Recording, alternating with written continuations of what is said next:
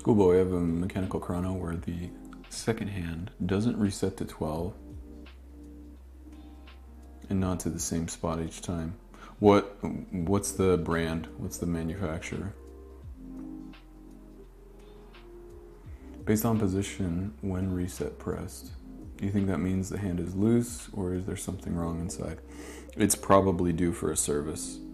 Um, a lot of times, what ends up happening is people will lubricate the chronograph hearts either with the wrong lubricant or way too much, and that lubrication gets sticky and gummy over time. So when the reset hammers come in and smack that chrono heart, they end up getting stuck. So it doesn't have like freedom of motion to completely return to zero.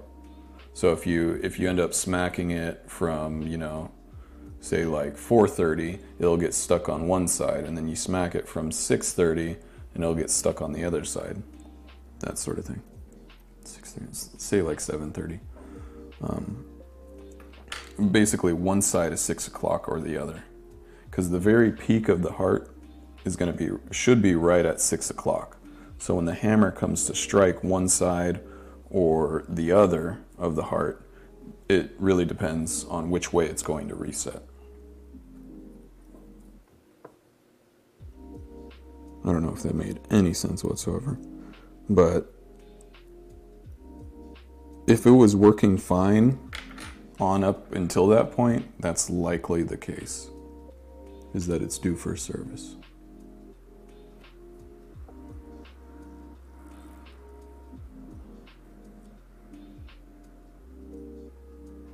And I know how annoying that is. I really do.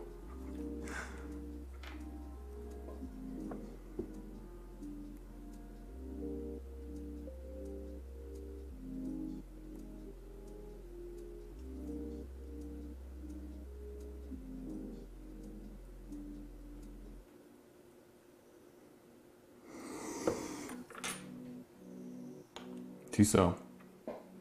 Movement is at a modular. Oh, it's a module, right?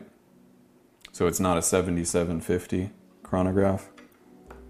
It's like a 2894, 2894, and then it has a module stacked on top.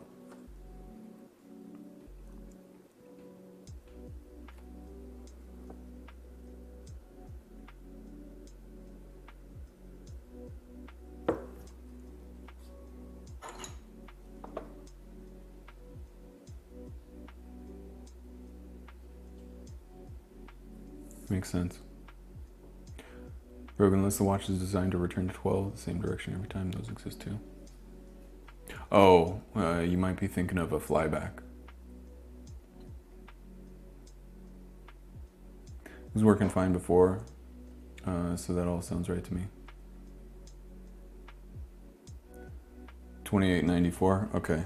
Um, the module might not be entirely serviceable, unfortunately.